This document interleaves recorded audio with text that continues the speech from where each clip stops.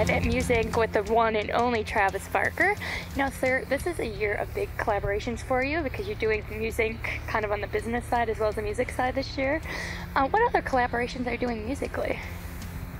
Um, well, I just finished doing the Grammys with Pitbull and Joe Perry from Aerosmith and Robin Thicke, and then I just played Jimmy Kimmel with Yo Gotti. So I'm always collaborating. I always have you know, records that I'm doing with people and whatever else. And then, you know, when it comes to MUSINK, I've I've curated the event for three years, so I've been like booking the talent that plays, um, some of the tattoo artists, the the cars that are here.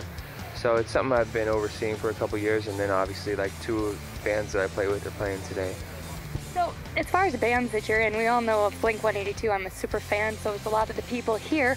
How does it feel knowing that you've like crossed generations? Because not only me, but my daughter, and I just saw you with a little itty bitty. As a musician, how you know reaching out things. I mean, it's amazing. You know, I never. You don't really think about it until you're at a meet and greet, and you're like, "Whoa!" I, that you know, I just met like a, a seven-year-old kid or a six-year-old kid that that loves Blink or loves Transplants or loves Yelawolf.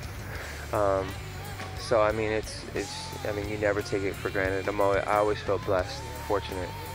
Well, you're an amazing person, and I don't want to take up too much of your time because everybody wants a piece of you today. But could you tell me one thing about your tattoos? What was your first tattoo, and how old were you?